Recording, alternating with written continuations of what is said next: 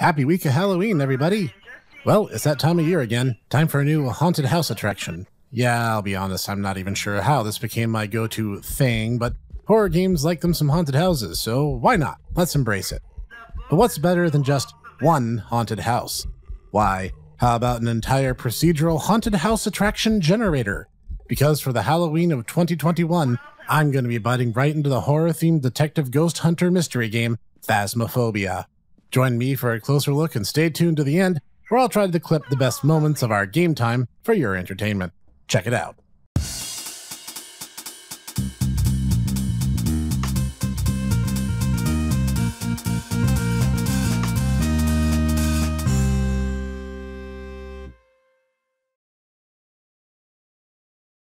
Greetings, everyone. Okay. This is the Hipster Snek, and today we'll be looking at the indie 2020 sensation, the ghost hunting co op horror title Phasmophobia.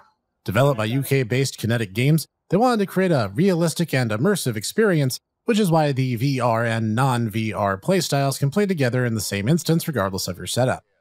With a few very simple meta touches to know how some of the mechanics behave, you have a deeply engrossing experience on your hands.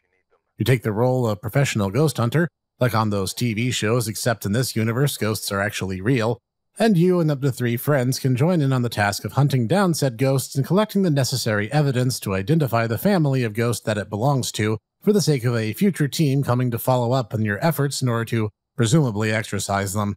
Cute jokes about me doing Ghost Hunter Core next year hereabouts. Anyway, let's get into it.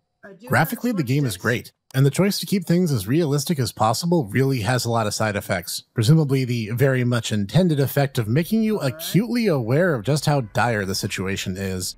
Because it's realistic, you don't have the benefit of assuming you can just be at ease. The houses and buildings you explore are lovingly crafted to look like they were once lived in or at least used, giving a sort of implied storyline of events that transpired in each. And it makes it all the more hair raising when that realistically rendered candle is hurled across a room by a moody poltergeist, or when a ghost event triggers and you're face to face with a violent apparition wielding a scythe and you can loudly hear your own heartbeat in your headphones. Actually, let's take a moment to talk about the sound design here because, unlike most games, this one goes two ways. The sound design is devilish in its execution because the first thing you hear in any mission is a pleasant sounding fellow who gives you a brief overview of your situation and some basic starting instructions about checking your whiteboard, more on that in a moment, and grabbing whatever gear you want to bring with you. Once you're across the threshold, the deafening silence is replaced by an ambient hum which hovers over you provided you're in the ghost's territory. Don't worry, being outdoors and in the van are safe zones.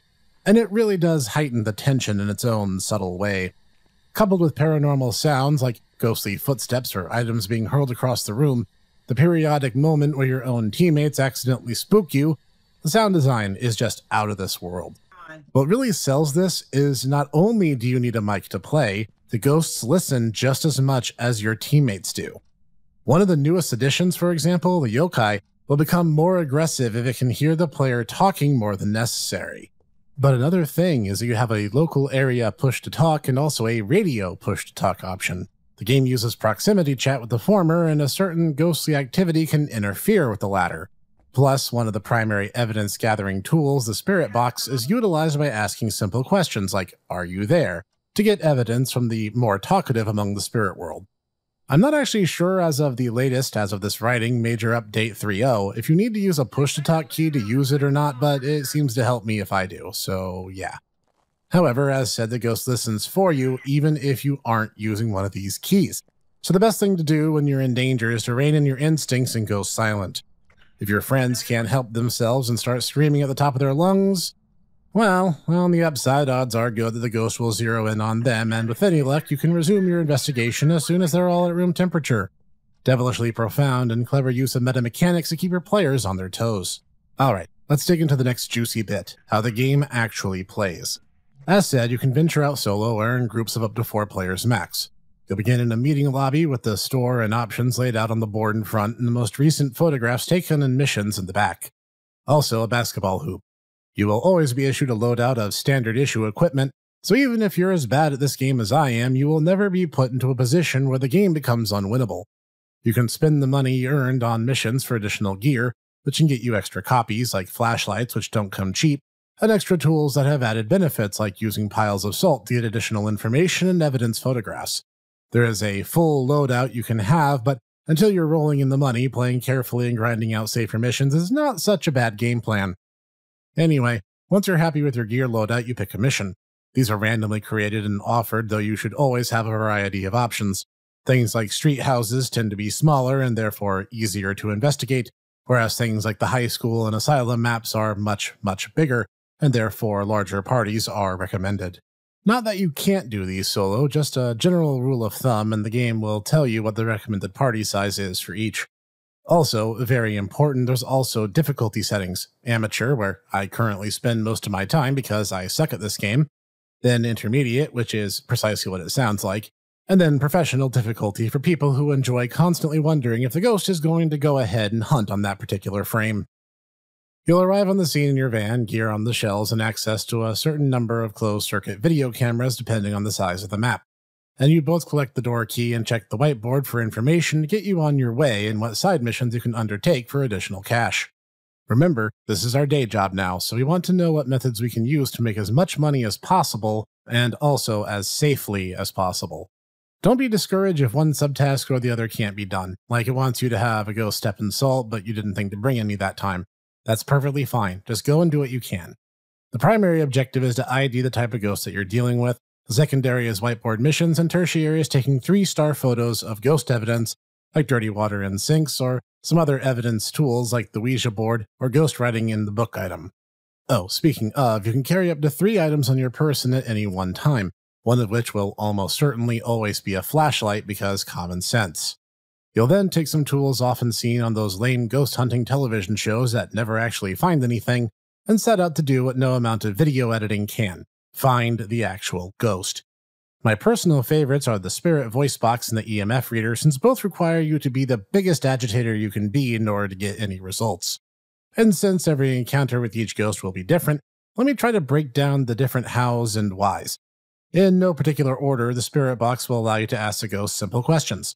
Typically, you must have the lights off and be in the ghost's favored room, and the ghost must be the sort of ghost who actually answers questions on the spirit box evidence type.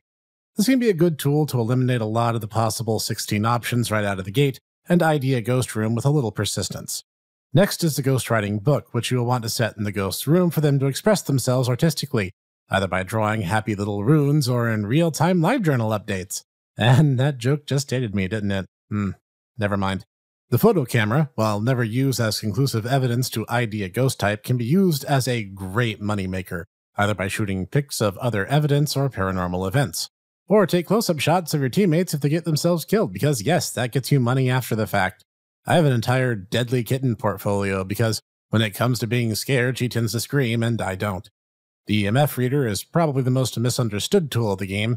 It's a device that picks up electromagnetic frequencies, hence EMF and some ghosts and ghost activity will cause it to register.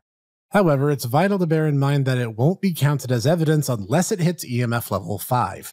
Anything less than that is not good enough for it to be officially considered that evidence type, but can satisfy the prereqs for some other submissions. And next is the video camera, which sounds simple enough, but it's probably one of the most useful tools once you've narrowed down the ghost's room. You can set it up, flee at top speed to the van, and watch the feed from the safety and comfort of your mobile base of operations. Not only can this check for spirit orbs, but can also catch sight of other evidence coming to light.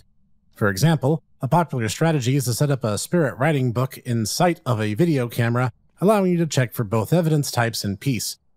UV flashlights and glow sticks can help check for fingerprints, which are a type of evidence, and footprints, which are not. Enough said. The newest tool, the DOTS projector, can show the silhouette of a ghost that walks into its field. I haven't gotten to play with this very much as of this writing, so Hopefully, I have something worthwhile to show when I actually get around to recording the footage for this episode.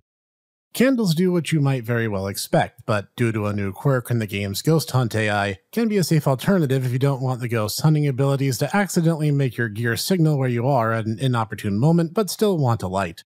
The cross can be set in a ghost's room and prevent up to two of its fatal hunting routines before it essentially gets turned into liquid metal, and is particularly useful against banshee type ghosts.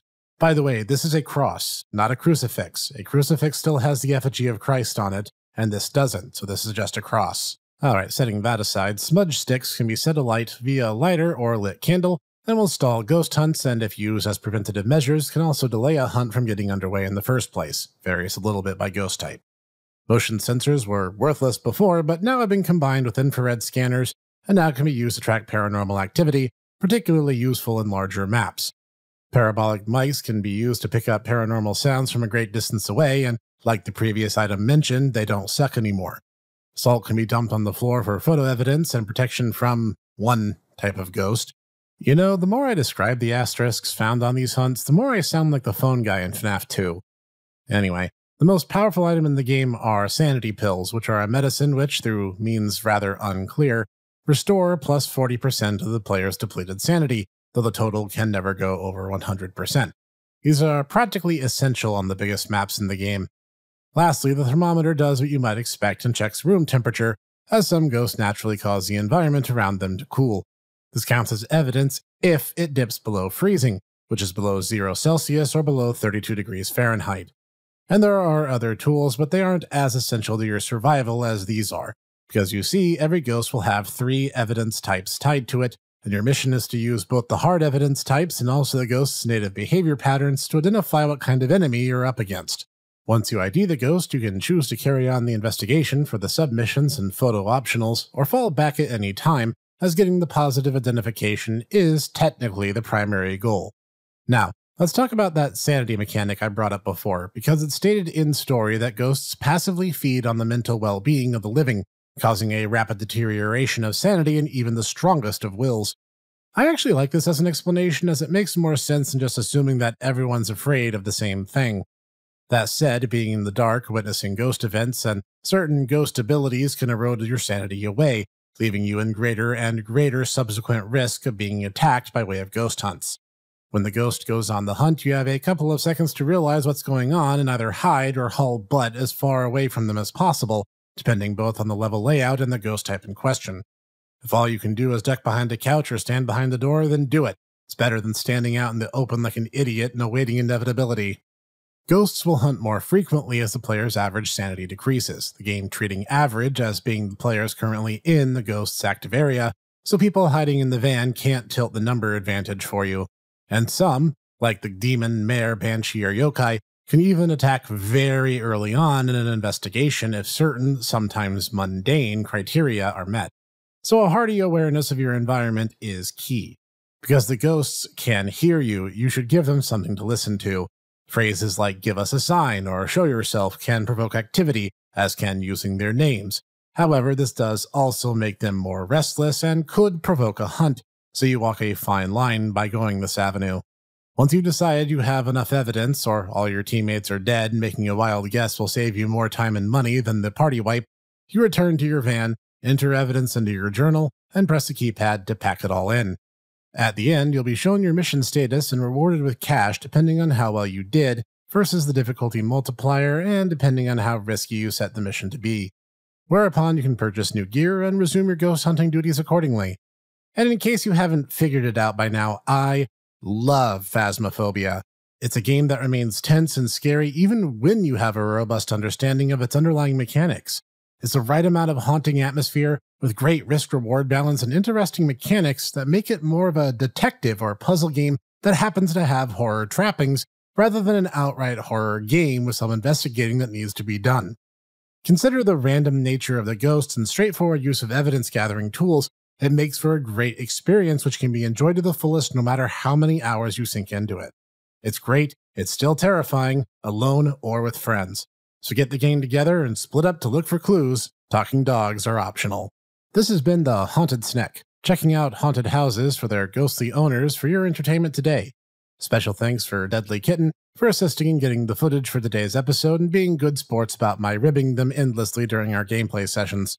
If you liked what you saw today, hit that like button, and to be continuously haunted by my recurring presence, there's always the subscribe and bell icon. Okay, I've run this ghost thing into the ground pretty firmly by now, but expect more Let's Plays, game reviews, Snek Tech, and more right here every week, and I will see you there.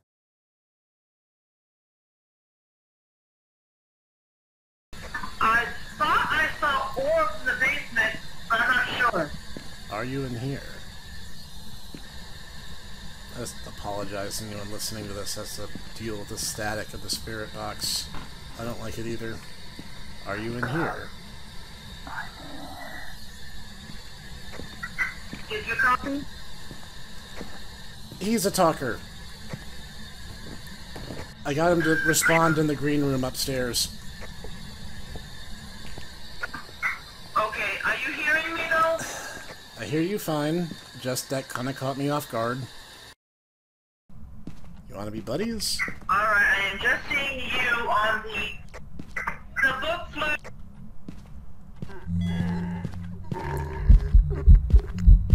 Hi. the book flew off the bed. Yeah, that's not all that happened. What else happened? He literally appeared right in front of me and menaced me with a knife.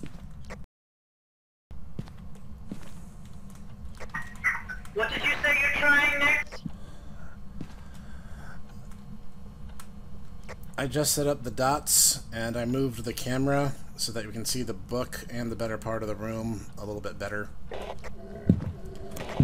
Alright, go to the truck.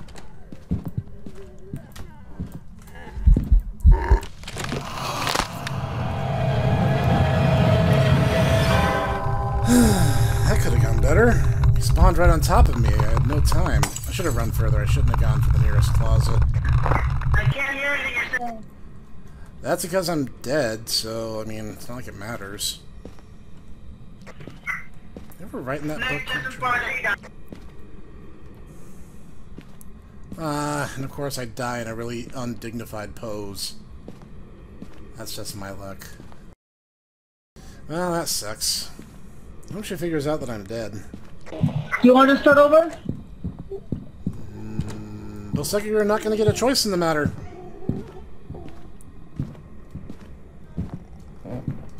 Come on, dude, wait for me.